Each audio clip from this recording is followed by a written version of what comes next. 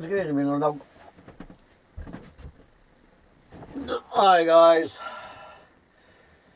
Good Lord, will this ever end? We are looking at a frosty night, a frosty night here in the collapse of global industrial civilization here. At Bugs in a Jar Farm, where right about the freezing mark, uh, going into Memorial Day weekend, Thursday, May 25th, 2023. So tomorrow is the grand opening of the 2023 season of the Bugs in a Jar Airbnb and Hipcamp. So uh, I hope you guys can make it for a visit this summer. But uh, before I dive into my weekend of madness with uh, my uh, my visitors, uh, do what I try to do every day, and that's chronicle the collapse of a planet. Uh, so I was thinking of doing this a riff on what I might be the Doomer Report headline of the year from Live Science.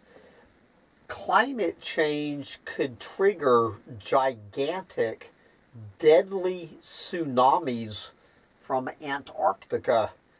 New study warns. There you go. Gigantic, deadly tsunamis heading your way from Antarctica, but I think the title says it all. So we're just going to get into, uh, we're going to hear from the Pope for a minute and then go into, uh, we're going to go from the Pope to Chevron Oil Company uh, here in the mainstream media. Before we dive in, as I begin all my rants, we're going to hear from a fellow a clergyman and economist. This is what a clergyman and economist named Otto Diederich Lütken, who lived from 1719 to 1790, had to say about overpopulation. A clergyman and economist. There you go.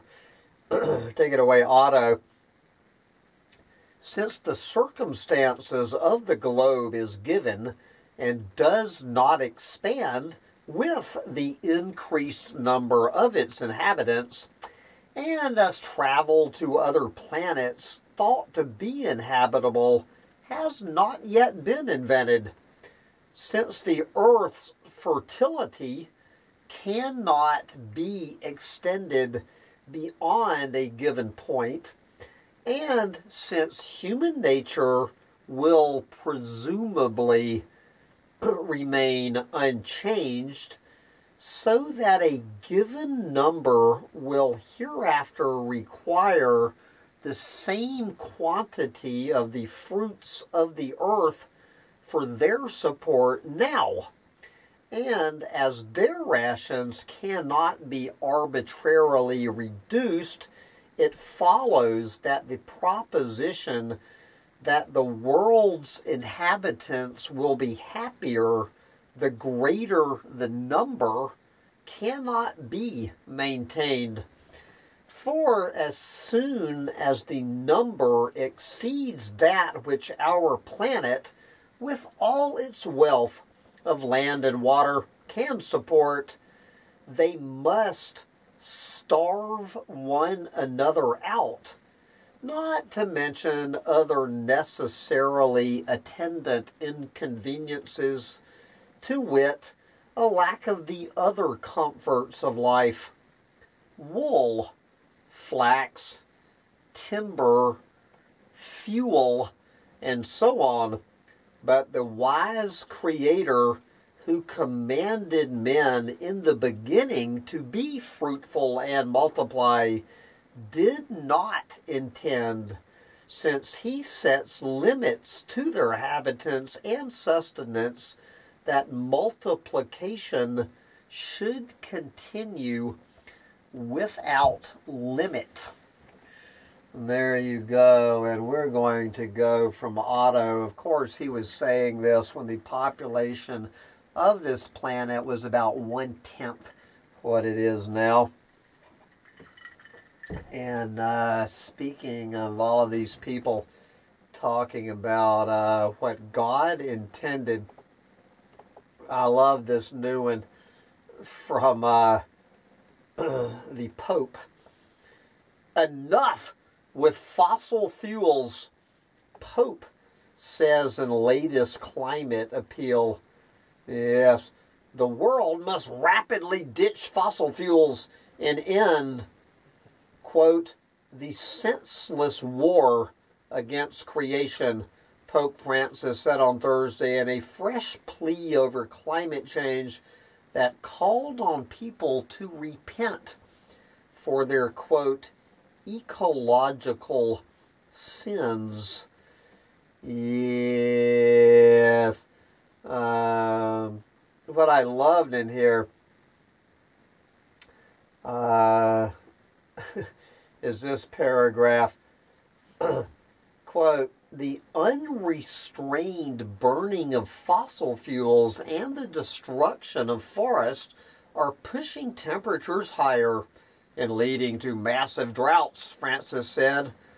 Also criticizing oil and gas fracking and what he called, quote, unchecked mega mining projects. Yes, this guy, uh, you, you know, uh, spreading, you know, promoting uh, the bright green lie of all that, you know, he's talking about uh, how we need to ditch fossil fuels, you know, failing to mention that if we ditch fossil fuels within about six months, half of the planet will be dead. So maybe that is a good reason to ditch fossil fuels. But of course, you know, he's talking about replacing them with green, clean energy while at the same time decrying, is that the word?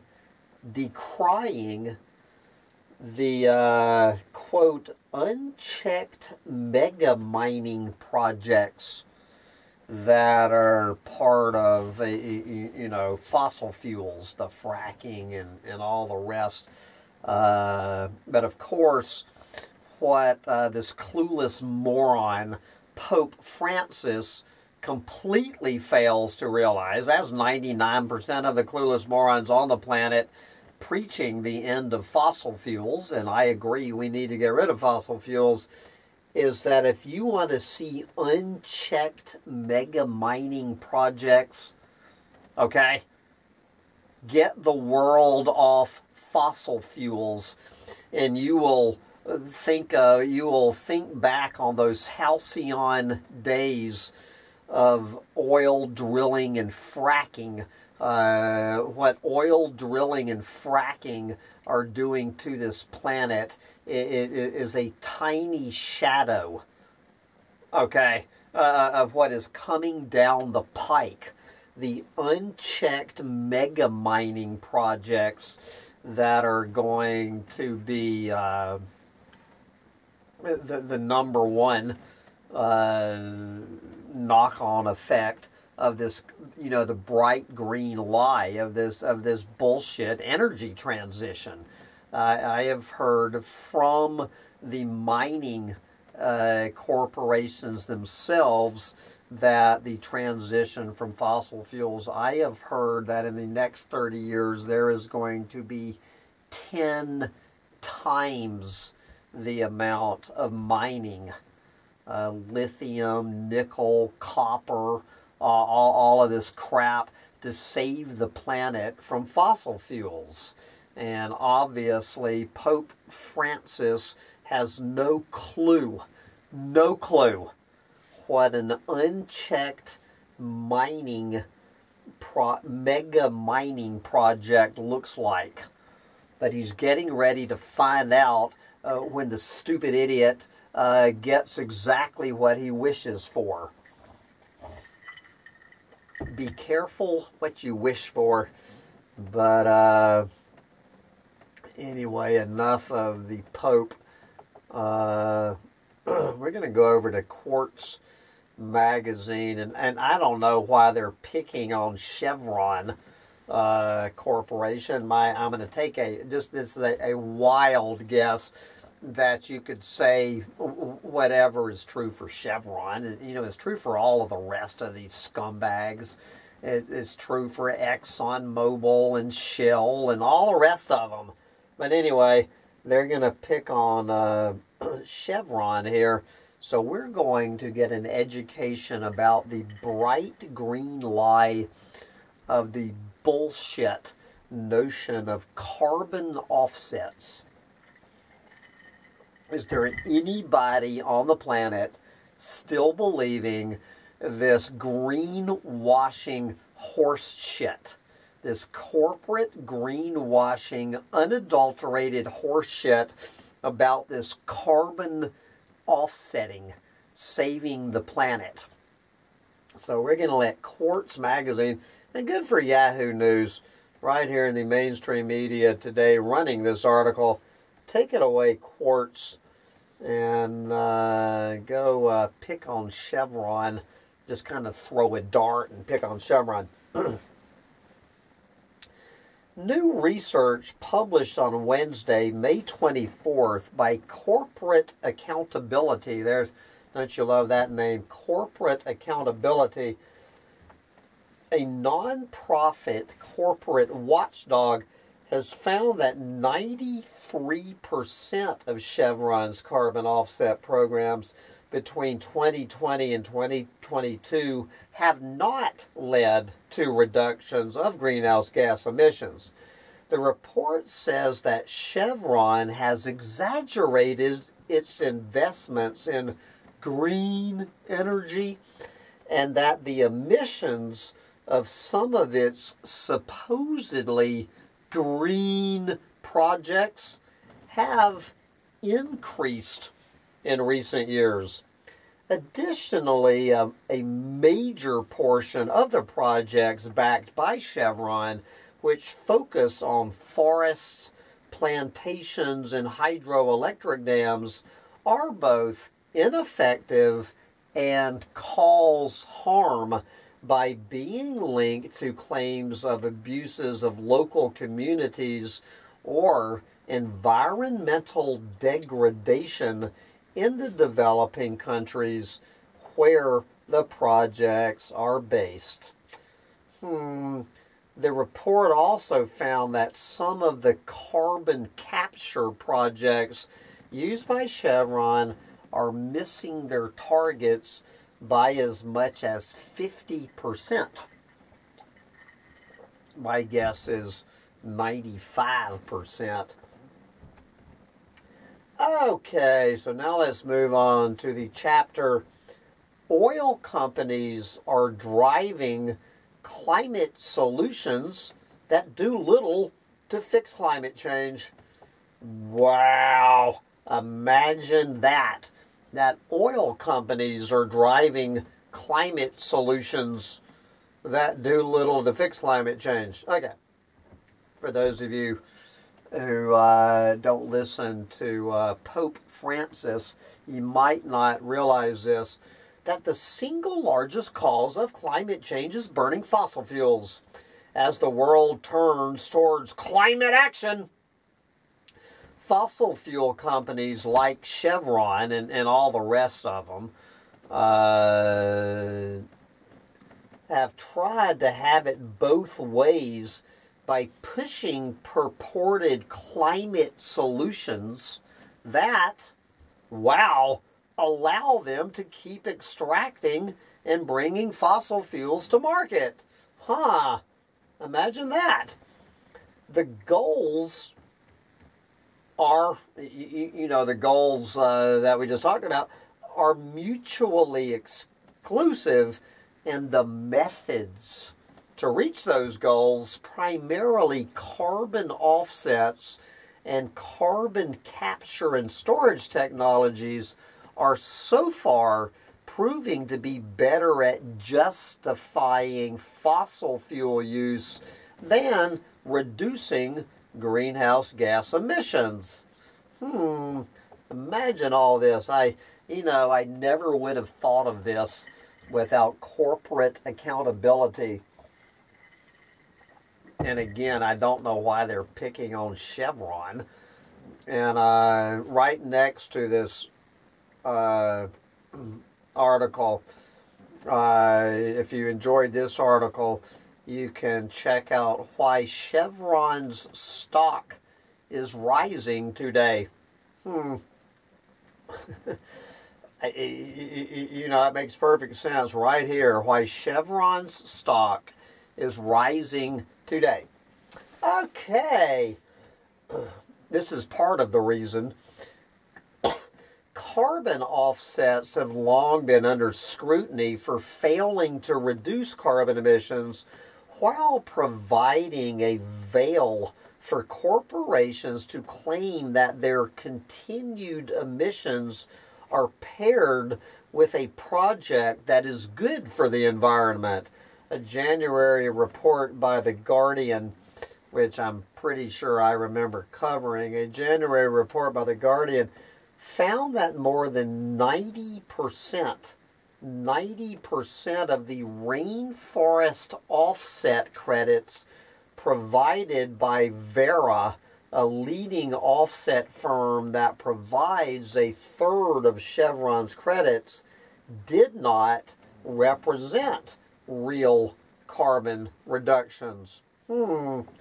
A new set of guidelines released in March by, I love the name of this place, the Integrity Council for the Voluntary Carbon Carbon Market. There you go a global governance organization. Hmm. A global governance organization disappointed experts by not going far enough to identify and exclude the most worthless offsets. Carbon capture projects fall far short of what would be required to contribute to reducing emissions in line with the Paris Agreement goals in 2022, according to the International Energy Agency. The world emitted 36.8 billion metric tons of CO2 currently operational carbon capture projects sequester 44 million metric tons of CO2 per year, otherwise known as 0.1.2%. 0.12% of total emissions and a number that the IEA does not expect will increase before 2030. There you go. So, anyway, uh, I guess uh, Pope Francis uh, needs to uh, read Quartz magazine. All right.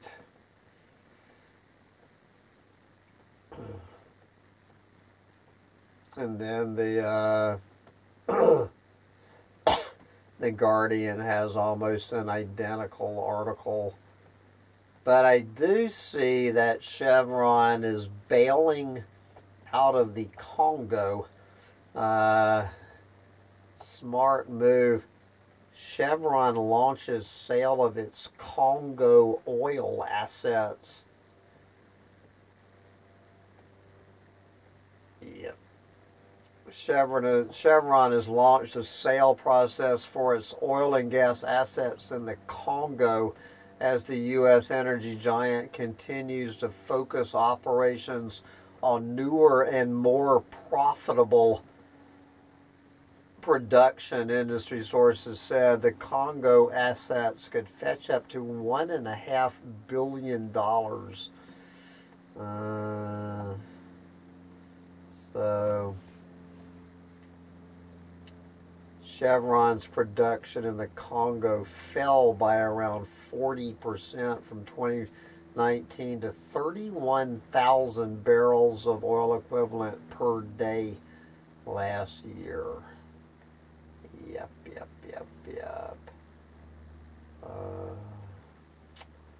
getting the hell out of Africa.